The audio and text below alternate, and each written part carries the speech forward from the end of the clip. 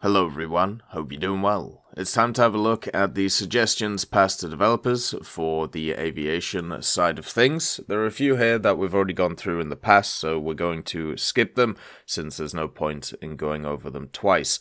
As always, if you enjoy the content, make sure to subscribe to the channel and also like the video. The first vehicle is the Fairey Gannet AS Mark IV. This was an anti-submarine naval aircraft and also reconnaissance plane, which actually also served with the German Bundesmarine in 1957. It was used to complement the Seahawk Mark 100 and Mark 101 strike, patrol, and anti-submarine capabilities. 16 machines were adopted from Britain, a big factor of the purchase being the immediate availability of the plane, uh, 15 of the Gannets were combat variants, the AS Mark IV, while the last one was a trainer version that was converted from the AS Mark IV to the Gannet T5. The planes were operated from the Fliegerhorst Schleswig Bay Jägel base by the Marine Fliegerschwader 2 and later the Marine Fliegerschwader 3 and were mainly employed as coastal reconnaissance and patrol aircraft, but also as potential anti-submarine strike fighters in case of Soviet attack. All 16 Gannets were retired in 1966 when they were replaced by the French Breguet uh, 1150. The Gannet was generally seen as very reliable and also a well-liked plane, which performed admirably in most weather conditions, while conducting various tasks such as coastal surveillance, long range patrols, and search and destroy missions. The dual engine contra-rotating propeller setup allowed the pilot to switch one engine off during flight, which greatly reduced speed at the advantage of more range. In case of an engine failure, the plane would still be airworthy and able to return the crew to safety without risk of crashing. The Gannet was not a direct air-to-air combat plane because of its vastly inferior speed compared to other contemporary military planes, such as the Seahawk, the F-84, and other early jet planes, and therefore did not need to be armed with guns, since the primary enemy it would face were submarines, although ships could also be attacked, and its arsenal of bombs, rockets, depth charges, and torpedoes, thanks to its carrying of up to 2,000 pounds, and the presence of a large bomb bay, which was able to carry most of the Gannet's weaponry, save for the rockets, which had to be mounted under the wings. The next one is once again for the Soviets, and it's one of these very, very big interceptor vehicles that were built. The Lavochkin LA-250A, the Anaconda. This uh, was a supersonic jet interceptor intended to serve for the Soviet Air Force to counter the threat of American strategic bombers in the Cold War, such as the B-52 Stratofortress. There were 20 or more flight tests on the LA-250, but the production was cancelled. A total of five were actually built though, so at least it was around. The vehicle used two Lyulka AL-7F afterburning uh, turbojets. Uh, the vehicle could uh, basically be able to produce 9,000 kgf each from the engines themselves. Uh, the rate of climb was 70.4 meters per second and also um, had a pretty decent speed attached to that as well when it felt like it. Uh, the armament, though, is where it kind of falls apart. Uh, the armament itself uh, was only two RS-2U beam riding air-to-air missiles or two 275A semi-active radar homing air-to-air missiles. This was before the time where the Soviets kind of uh, got themselves the Sidewinder, you know, where um, the infamous story, which we'll talk about in the future, where the Sidewinder got stuck in a plane, and that's how they actually got the technology for it. So let's just say these missiles aren't exactly the best.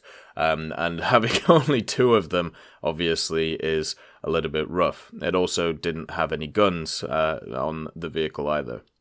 The vehicle could go 1800 kilometers an hour without the missiles, and with them 1600 kilometers an hour, meaning that it was pretty nippy, but yeah, very limited in armament.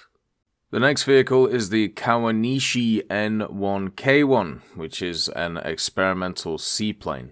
In September of 1940, the Navy order to design the number 15 experimental seaplane fighter was given to Kawanishi. This was the first plane in a category of seaplane fighters.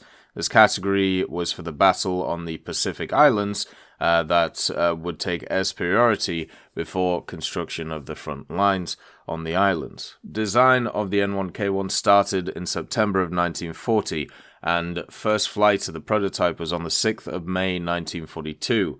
It had the best engine at the time, the Kasei. Uh, this engine uh, would have large torque, so the first prototype was given contra-rotating propellers to deal with it. Also, this is the first plane to equip the automatic combat flap uh, for the Japanese. At first, uh, side floats were planned to be retractable, but that was cancelled, and the contra-rotating propellers of the N1K1 were the same as the recon seaplane, the E-15K1, the Shiun, but the mechanism wasn't adopted for the second prototype or later. Uh, the vehicle also uh, had access to some other things, uh, such as a pretty beefy armament of two 20mm machine guns, two 7.7 machine guns, and also uh, two 30 kilogram bombs on top of it, uh, so it would be quite nice. The next one is the Chengdu J10A, and I'm just going to read this first paragraph of. Um, I think what I'm going to do in the future is just skip this person's posts. Uh, I don't know who's passing them. They make absolutely no sense, and they have a bunch of grammatical and spelling mistakes. It's hard to work out what's even being said. So here we go. The Chengdu J10 is a Chinese multi-role fighter of the fourth generation, developed at first to be a third generation. His original goes go back at 1981 when China ordered the development of a new plane following a new way to get the plane. Instant of giving the requirement of the plane, they wanted to one builder and get what the builder make. They made a competition between three major builder and choose the more interesting of them. It was Chengdu who got the contract to develop the new plane from their proposition. The J9 was their initial proposition, who was never built. It was a plane that was likely inspired by the J37 Gripen. The plane, however, was too advanced for the Chinese capacity, incorporating 60% of new technology. The J10 was the most modern plane that China could build. This slowed the development and all the technology needed to be tested the compartments being adapted to each other, and at the end of what the industry wasn't capable to produce, it since it was too advanced for their capacity. The plane was finally built in 1997 and flew in 1998. It was already 17 years that the plane had been developed back then, and it was just entering the trial. But the trial appear to had went well, as the plane was put into production in 2002. The first planes were, was in service 17 years that the plane had been developed back then, and it was just entering the trial. Uh, but the trial appeared to had went well as the plane was put into production in 2002. The first planes was in service in 2006 and only revealed in 2007. The result was quite impressive. The plane was remarkably modern and look oddly like the IAI Lavi, which led to believe that Israel had been involved in the development of the J-10 deliberately or unconsciously. Various credible source and photo evidence go in favor to the theory of Israel selling the blueprint of the Lavi to China is considered as fact by the US Air Force's Russian intelligence IHS Janes and Lyulka's uh, engineer who worked on the J-10 to adapt the Russian engine. It was been described by the Lyulka's engineers as a melting pot of foreign technology from the F 16, Israel, Russia, and China. But the fact is, China had built this plane, integrating a lot of technology that was from other country and adapted with each other. Nonetheless, this plane would be a great addition for the game. The J10A, being the first standard version of the J10, will offer the basic yet great performance. As for 2021, a total of 200 J10As is believed to be in service in China. The MD410 is also on the list for France. This started as a result of the outbreak of war in Algeria. The French government issued a requirement for a twin engined aircraft capable of performing ground attack missions. The requirements for the aircraft were as follows to weigh under 5 tons, range of 1080 nm, cruising speed of 260 knots, and weapons including two 30mm cannons, bombs, rockets, or air to ground missiles. Dassault responded to this request with the MD 410 Spirale. The twin turboprop aircraft had a weight of 5.5 tons, was capable of speeds of uh, 500 kph, and could carry a host of weaponry on its four underwing hardpoints, as well as twin 30mm DEFA cannons mounted at the bottom of the fuselage. Other competitors for this request also arose in the shape of the previously suggested Sud-Ouest uh, Voltigeur, the SIPA S1100, the Potez 75, and Morane Saulnier 1500. A few others were also suggested, but didn't make it past the design table. The same airframe also resulted in the MD 415 Communauté, uh, the primarily a liaison aircraft, but with a secondary role of ground attack. What this meant is that the aircraft had the same hardpoints as the Spiral, but lacked the fuselage mounted guns that the Spiral did have.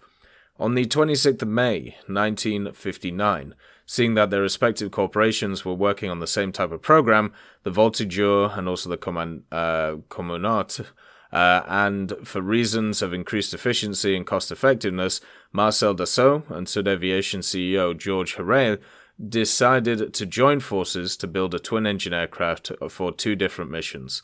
Liaison, training, and ground attack. The aircraft was flown by GAMD under the name Common, uh, ground attack and multi-purpose missions along the lines of the Sud Aviation Voltigeur, also produced as a model by GAMD under the name Spiral. Eventually, in 1960, the French government decided to buy aircraft from the surplus uh, the United States Air Force had to perform these ground attack missions, thereby also rejecting all the French domestic proposals. Given the advanced sta- stage of work, many of the manufacturers still involved decided to still press on development of their aircraft and achieve first flight. For the Spiral, this feat was achieved at Bordeaux Merignac uh, on the 8th of April 1960, and Paul Boudier and Gilles Brech at the controls. The Air Force, nonetheless, uh, showed interest, albeit in a slightly modified version, later named the Spiral 3. This would basically be the same design but 1.3 times larger. However, this program with 2 was shortly thereafter put on hold because of the lack of funding. No further development was undertaken on the aircraft, despite interest from several other nations. The Spiral 3 remained a paper project. Now, as far as armament goes for the aircraft, the aircraft was by default armed with two 30mm DEFA cannons mounted under the fuselage. In the main uh, image, you can see the bulges extruding from the bottom.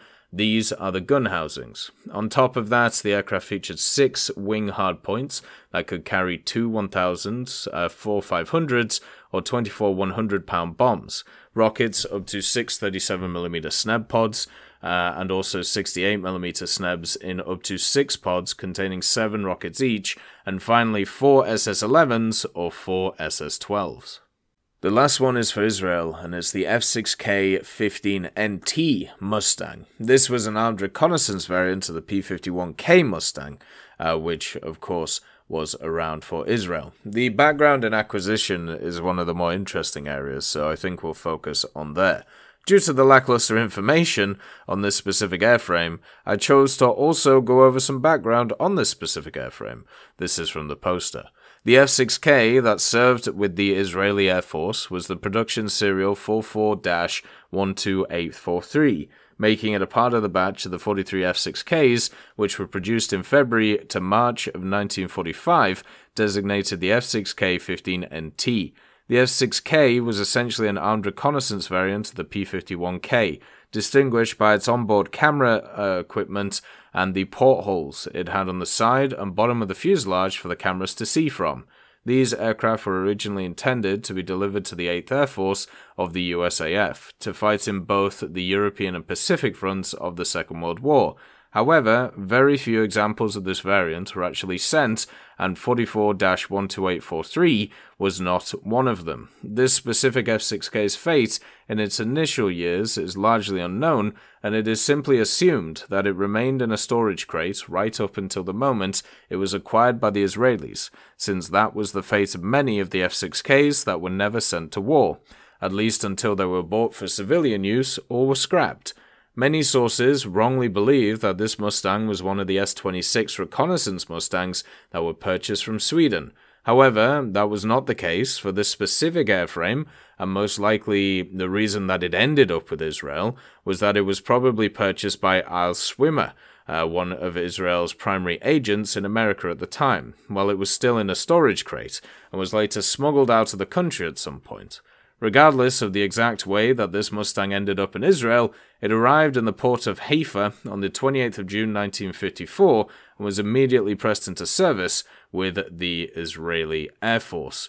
Seeing as this specific airframe was delivered only in mid 54, it led a pretty short service life. In the Israeli Air Force, it received the identification number 2339, which was shortened to just 39 and was put into service with the 116th Squadron, uh, back in those years, it was known as the Flying Wing Squadron. During its service, it appeared to have never actually been utilized as a reconnaissance aircraft. Instead, it was utilized in exactly the same way the rest of the IF, uh, IF's Mustangs. The F 6K was used in combat during the Sinai campaign of the Suez Crisis in October of 1956 and then was retired from service shortly afterwards, along with the rest of the IF's Mustangs. So the vehicle itself, obviously having a short service life, but an interesting story. It might be worth trying to find more about it. As always, I hope you have a wonderful day, and I'll see you next time. I'd just like to thank Millie Draper, Juan the Panda, Nick R. Kupila, Carrion Crow, Gus Irenicus, Pyman, Merciless Reaper, Orange Tail, Teddy, Daniel Stanton, Moxie B. Young, Peter Grayling, Jerry Provolt, Barine, Alan Hacker, Sem Arslan, Uncle Bean, Derek R., and Lafouche for supporting the channel.